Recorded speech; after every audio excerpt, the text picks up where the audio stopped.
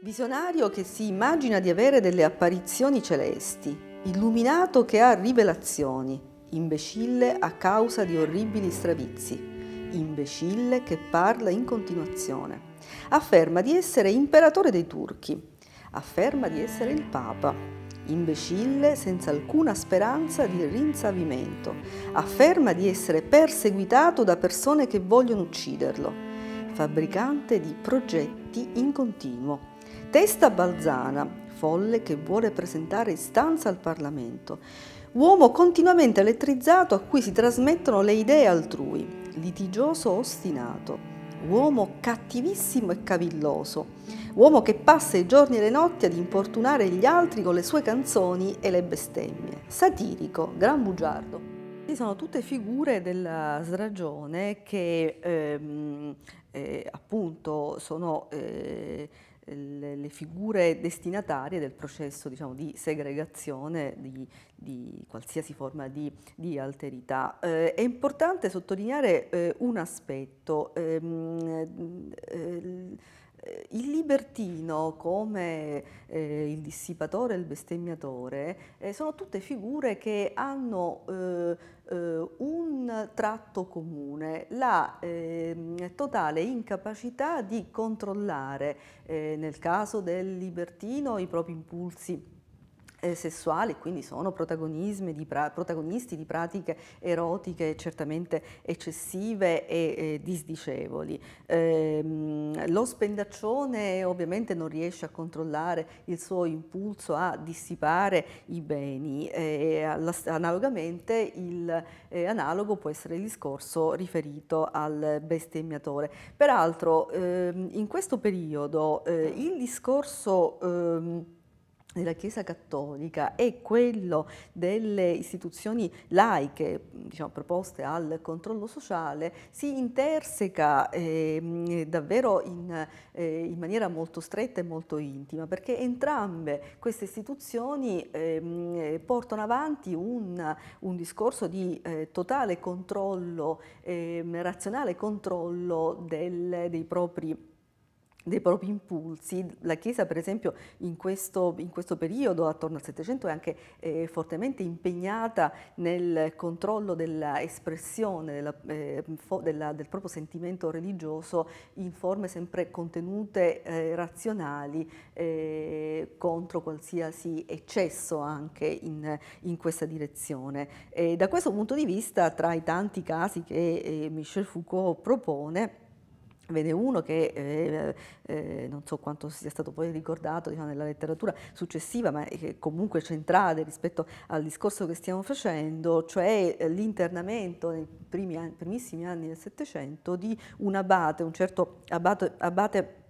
Bargede che eh, molto anziano perché eh, ha 70 anni eh, viene, eh, viene, recluso a Saint-Lazare. Perché? Perché era sostanzialmente eh, un usuraio che non aveva alcun sentimento di carità e che dunque diciamo, contravveniva a uno dei motivi fondamentali, a uno degli insegnamenti fondamentali della, della Chiesa. Ma è importante non, eh, sottolineare che il motivo del suo internamento non è la perdita della ragione, ma il suo comportamento, eh, comportamento eticamente scorretto. Ehm, quindi lui ehm, eh, non solo eh, fa una pratica appunto che è diventata nel, nel tempo ehm, eh, disdicevole, ma non mostra alcun pentimento rispetto alla persecuzione di un appunto, comportamento considerato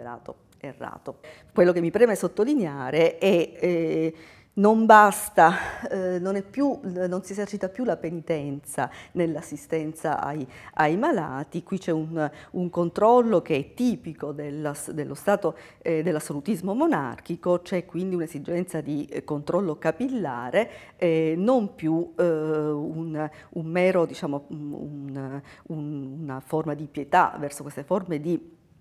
di eh, sofferenza, c'è da parte dello Stato l'intento chiaro di soccorrere eh, queste aree del bisogno ma anche di punirle. Le procedure di internamento erano senz'altro molto diverse, ma che eh, vedevano sempre una sorta di eh, accordo tra la famiglia, mh, la mediazione eventuale del parroco e l'istituzione. In tutta la procedura il medico, questo è un elemento diciamo, da sottolineare, eh, quasi non interveniva, non interveniva affatto nel momento del ricovero e già questo significa, cioè è un elemento abbastanza significativo.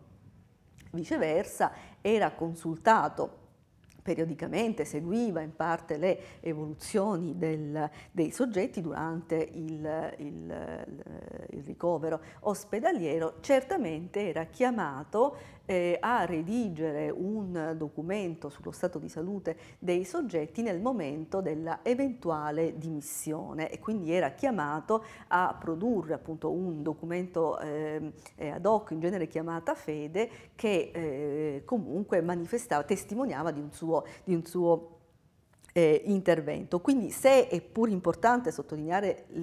eh, l'intervento del medico in un momento cer certamente decisia, de decisivo e importante come quello delle dimissioni, però è altrettanto importante sottolineare la non presenza o la eh, presenza eh, non, eh, non significativa del medico nel momento in cui i soggetti venivano, venivano eh, ricoverati. Eh, bisogna ricordare che eh, eh, a lungo, ma davvero eh, a lungo, eh, lo stato di eh, segregazione di questi soggetti non prevedeva alcun intervento